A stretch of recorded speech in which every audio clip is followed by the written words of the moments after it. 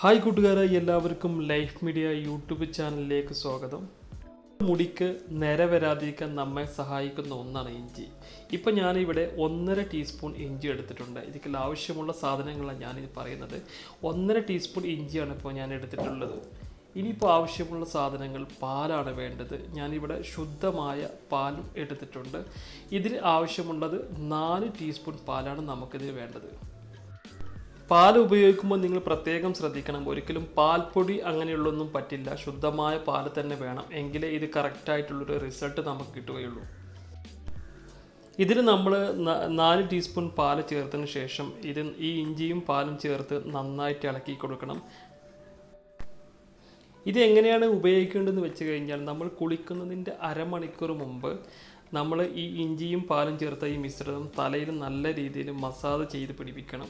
ശരിക്കും നമ്മൾ തലയോട്ടിയിലാണ് നല്ല രീതിയിൽ മസാജ് ചെയ്യേണ്ടത്. ഇതിന് ശേഷമാണ് നമ്മൾ കുളിക്കേണ്ടത്.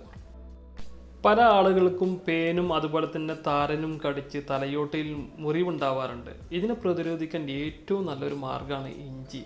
അതുപോലെ തന്നെ തലയോട്ടിയിൽ ഉണ്ടാകുന്ന കുരു മറ്റു അലർജി പ്രശ്നങ്ങൾക്കെല്ലാം ഒരു നല്ലൊരു പരിഹാരം തന്നെയാണ് ഇഞ്ചി.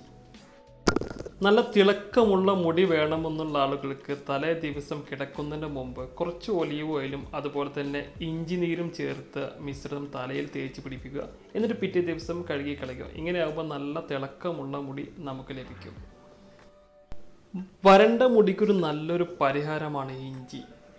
ഇഞ്ചി നീരിൽ നമ്മൾ കുറച്ച് ആവണക്കെണ്ണ മിക്സ് ആക്കിയിട്ട് നന്നായി നല്ല രീതിയിൽ മസാജ് ചെയ്യുക. അതിനുശേഷം ഒരു മണിക്കൂർ കഴിഞ്ഞ് നമ്മളിത് കഴുകി കളയുക അങ്ങനെ ആകുമ്പോൾ നല്ല തിളക്കമുള്ള നല്ല ഈർപ്പമുള്ള മുടി നമുക്ക് ലഭിക്കും.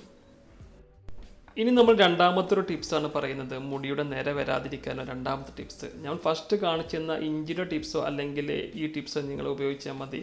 ഇപ്പോൾ ഞാൻ ഇതിൽ എടുത്തിരിക്കുന്നത് മൂന്ന് ടീസ്പൂണ് സവാള നീരാണ് ഞാൻ എടുത്തിരിക്കുന്നത്. നമ്മുടെ തലയിൽ നല്ല രീതിയിൽ മസാജ് ചെയ്യണം. ഇത് ഉപയോഗിച്ച് പിന്നീട് നമുക്ക് വേണ്ടത് കുറച്ച് നാരങ്ങ നീരാണ് ഞാനിപ്പോൾ കുറച്ച് നാരങ്ങ നീര് കൊടുത്തിട്ടുണ്ട്.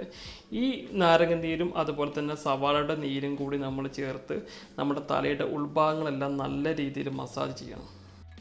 ഇത് നമ്മൾ കുളിക്കുന്നതിന്റെ ഒരു പത്ത് മിനിറ്റ് മുമ്പ് തലയോട്ടിൽ നല്ല രീതിയിൽ മസാജ് ചെയ്യുക.